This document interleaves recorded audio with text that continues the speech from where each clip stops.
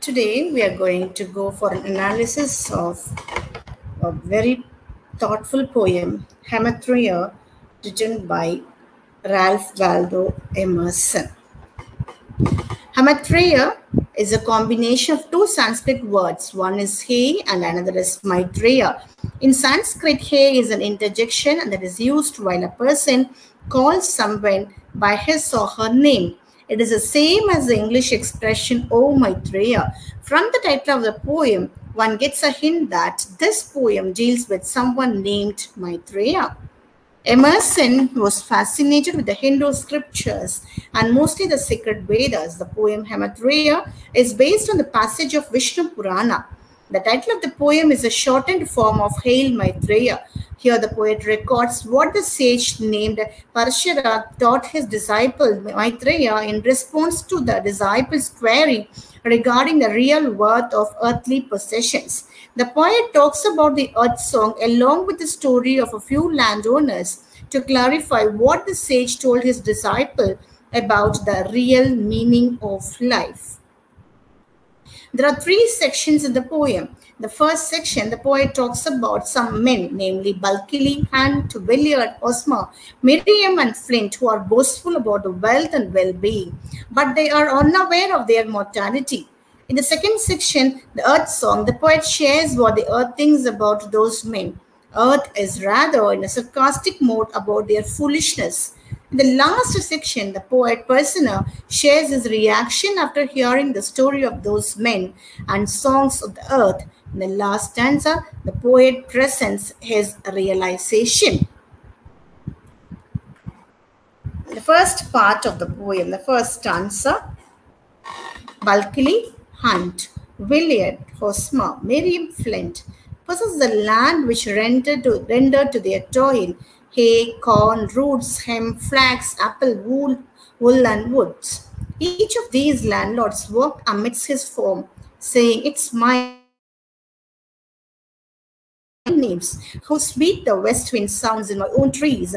How gracefully climb those shadows on my hill. I fancy these pure waters and flags know me, as does my dog. We sympathize, and I affirm my actions smack of soil. The first stanza here, the speaker of the poem refers to few people, a farmers Bulkeley, Hunt, Williard, Meriam, and so on, who possessed lands rent to their toil. Though they, they, they, those men produced hay, corn, roots, and the products what they have produced. Each of these landlords, while walking amidst their farms, expressed their authority. They were very proud. They were the owners of their lands. One of them said, by referring to his land, that the land belonged to him and his children. Thereafter, he referred to the west wind and told the speaker to hear the sound the west wind made in trees. Ironically, those were not his trees, those belonged to nature. However, he felt pleased to see the shadows on his hill. It seemed to him that the shadows gracefully wandered on the hill. He fancied the pure waters and the flags. He, his property to him was like a dog to his master, faithful and submissive. In reality, it was just the opposite. At last, the speaker said in a confident to- tone that his actions smack of the soil. It is in reference to the person's deep relationship with his property.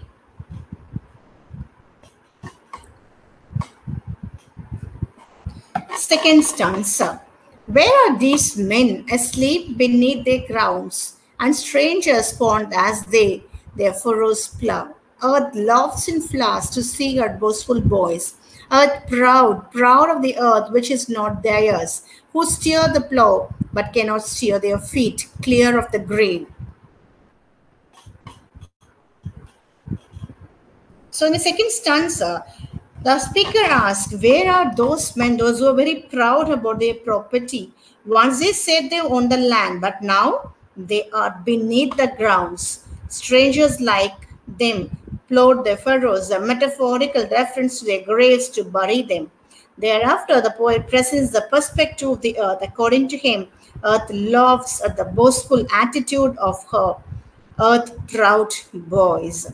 They were once proud of the earth, which is not theirs now. It was as free then as it is now. It is not much different that can be seen on earth. The only difference is those men are no more. The poet ironically says human beings can steer their plow, but they cannot steer their feet clear of their grave. In this way, the poet introduced the theme of mortality. Next stanza. They added ridge to the valley, brook to pond, and site for all that bounded their domain. This suits me for a pasture, that's my park. We must have clay, lime, gravel, granite ledge, and misty lowland where to go for peat. The land is well, lies valley to the south. It's good when you have crossed the sea and back to find the sit fast acres where you left them uh, the hot owner sees not death, who adds him to his land. A lump of mold the more. Hear what the earth say. In this particular stanza, the poet says that humans created the ridge to the valley, brook to the pond, and thought to redesign nature for the sake of their inner pleasure, for their own comfortability. They redesigned the nature whatsoever. They spent the most of their lives thinking about useless matters, such as which part of the land best suited for a pasture or a park, where they could find a clay, where they could find a lime, where they could find a granite ledge and misty lowland, where they could go for peat. Moreover, they desired to own the lands which were well maintained and faced a specific direction. One of them said, It is good when you have crossed the sea and back to find the sit fast acres where you left them. The last few lines of this section, of this particular part, throw light on the possessive nature of human mankind.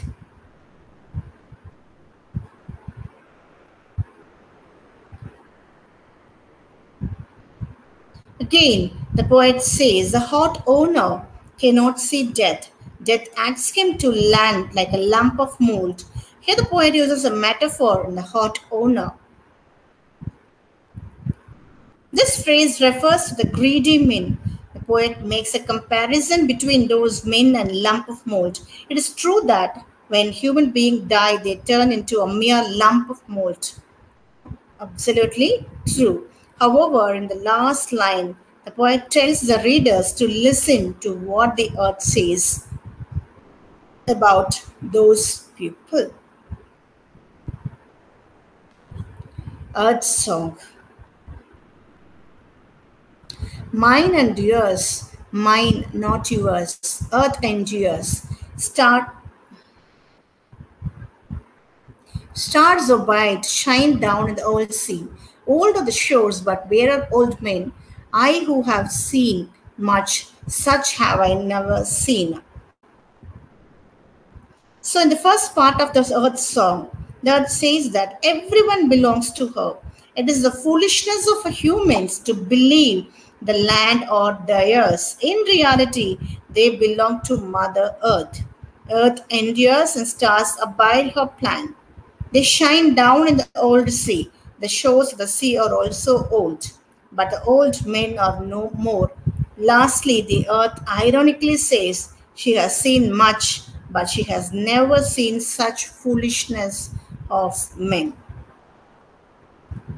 The lawyer's deed ran sure entail to them unto their heads, who shall succeed without fail forevermore. In this section, the poetic person of the earth says those landlords are the lawyer's deeds to transfer their possession to the next generation. Apart from that, they link by documenting how much they had. They are securing the rights of their future generation. However, this statement also reveals the stupidity. As they are ignorant kind of man, men, they think a mere deed or will could give them the right to own the land as long as they can. Here is the land shaggy with the wood, with its old valley. mountain flood, but the heritors fled like the flood's foe. The lawyers and laws and the kingdom clean swept here from. This particular stanza, Hamatreya similarly talks about those men. The earth points at the land, shaggy with wood. The old valley, mound, and flood are there, but the heritors could not. In the following line, the poet uses a simile, compares the death to the flood's foam. Here, he compares death to the flood's foam. In this particular line, he uses a simile. The earth refers to the lawyer, the laws, and the kingdom, which will be swept from the earth. As men are mortal, their possessions are also swept away after their death. One cannot carry one's property after their death in heaven. They called me theirs. Why so controlled me yet everyone which to say, stay and is gone. Who am I theirs? How am I theirs? Sorry, if they cannot hold me, but I hold them. The earth says that they called her theirs and controlled her. Every one of them wished to stay on earth as long as they could. They wanted to stay alive alive not for the love or either nature or earth. Greed and lust controlled their thinking pattern.